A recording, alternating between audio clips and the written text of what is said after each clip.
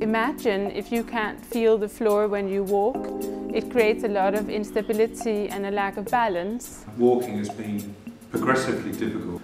The primary symptom was the reduced sensation and often it was felt like I was walking on cotton wool.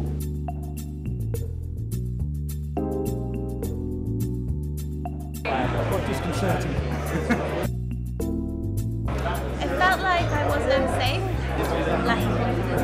You'd be a lot less mobile, I think. Uh, your balance is off.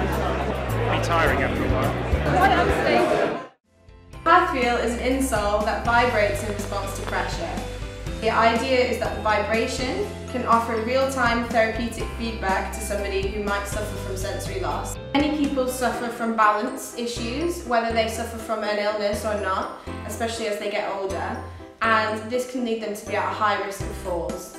Falls are a huge problem. Age UK estimates that up to six people per minute fall within the UK, which costs the NHS up to £2.3 billion per year.